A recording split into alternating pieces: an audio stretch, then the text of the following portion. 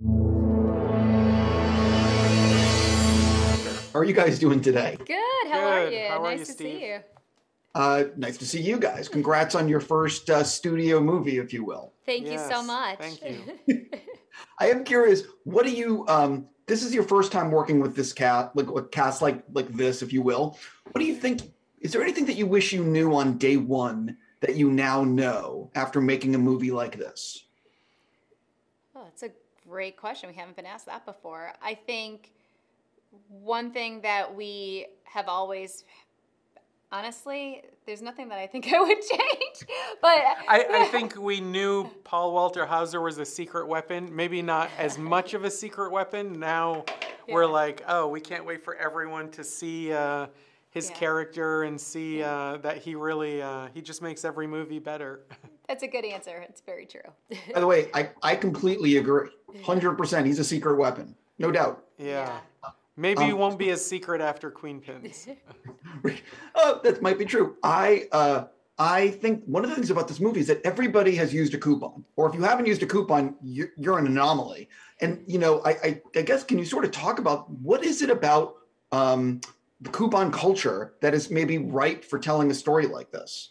Yeah, well, we took a deep dive in the world of coupons, and there's so much of a psychological effect of using coupons the coupon high, but also the foundation of our economy runs off of coupons. And what we realized is that someone, a company like J.C. Penney, when they decided to get rid of coupons all across the board, they lost $4 billion and almost went bankrupt. and almost went bankrupt. And so what we discovered through our research is that when people ask the question, is it a need or is it a want? You know, they will then decide if they're going to purchase something. But if you have a coupon and you decide to use it as a ticking clock on it, all of a sudden, if it's a need or a want, it's no longer a want. It always becomes a need because now you feel the pressure to buy. So coupons essentially are the ticket to continuing buying in our economy. And I think we did see a statistic where 96% of Americans have used a coupon before. So it is an anomaly if you're if you haven't. Um, one of the things that I appreciate about this movie is that your the best friends do not have the typical falling out in the second act. Like they're legit best friends and they're trying to work together for each other. Can you sort of talk about that aspect of the script? Well, thank you for Yeah, thank- recognizing thank, that. you because Yeah. that was something that we talked about and we said let's avoid that sort of cliche or trope and we worked Mm-hmm. Yeah. really hard to make sure that it was this friendship that was strong throughout and they were Mm-hmm. dealing with all of these external forces that they had to you know overcome obstacles but it wasn't about them having some sort of fight you know two-thirds of the way through and moping around for 10 minutes and then coming back together stronger but that was something that we really discussed in writing it and wanted Yeah. to avoid that And it was so important to us because Aron and I would say, you know, like we have friends we've been friends with for 25 years, and we've never, going through difficult times, ever turned on each other.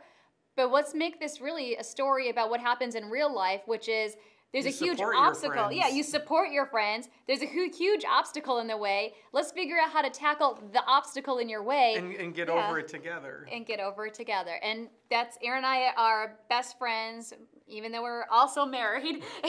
and we also talk about all the obstacles in our way and we don't turn on each other. We really just want to support each other and get through it.